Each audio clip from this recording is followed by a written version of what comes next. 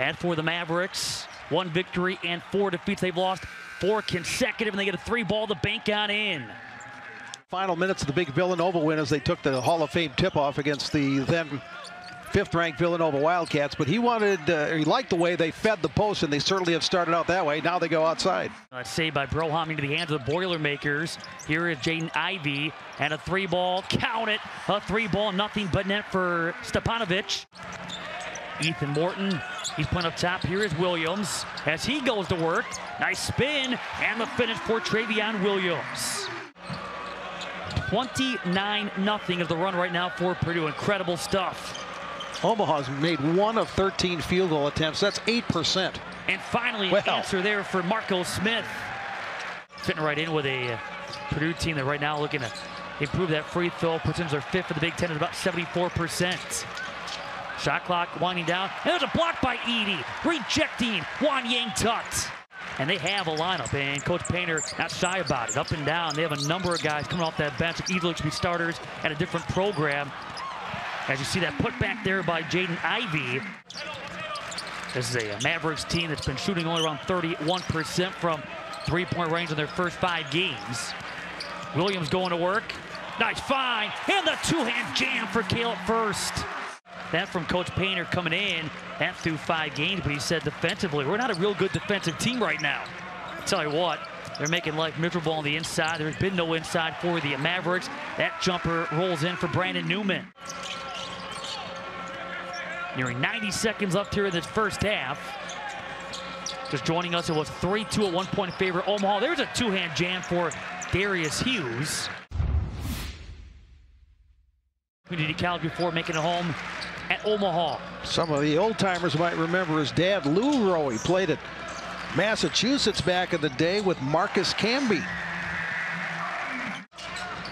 We look at Ivey, almost about four or five points better. You see the two-hand jam for Zach Edey. Great catch, great move with the left hand of the dunk. For the Boilermakers, they've scored 24 points in the paint.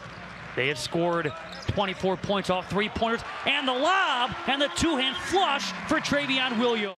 His senior year in high school in which he missed with a, a knee injury suffered following his junior campaign. Inside Williams with the one-hand jam, able to slam it over Devin Evans. Williams gonna step up, uses the glass, and he got to step up on Wanjang Tut. December 9th, the first couple of Big Ten matchups for Purdue. Thompson all the way to the cup, and the foul. Logged by the Mavericks this year in that same boat, but they three ball coming up short here for Brandon Newman. They lost their three top scorers. Tough angle, scored plus the foul for Mason Gillis. Well, Purdue's kept it going in the second half. They've outscored UNO 25 to 11 in the second frame. And still north at 60%. oh my out. goodness! A reverse one-hand jam for Trevion Williams. After he had scored in double figures each of the first three for the Mavericks. They've been a spark off that bench. Become one of the leaders, more vocal this year as Hughes skips over the rim. Boilermaker offense continues to roll toward that 90 and perhaps 100 mark. Nice fight inside. Dumped off with Darius Hughes. Omaha is now 4 of 24 from three-point range, but the Mavericks are going to keep plugging. They're going to keep shooting them. Wow, look at that move by Williams. How did he finish? Take that back. He's in right now. He's out there right now. 89-35. He gets the pass on the inside from Hunter Jr., and he'll turn and slam it. Look at that clock. 4.45 wow. to go here in this second half. Ivey. How did he hit that shot? It's going to be another great season for Matt Painter and the Boilers. Following the takeaway. Down the lane. Tuck can't finish with the putback there. Their high's been 96 on two occasions against still new to Division One Bellarmine. Also a 96 against Wright State. How about that finish? And the foul for Carson Barrett. Up in Connecticut. Nice lead feed for the Second chance there for Furst. See the bench erupting. Opportunity here, scored plus the foul for Chase Martin.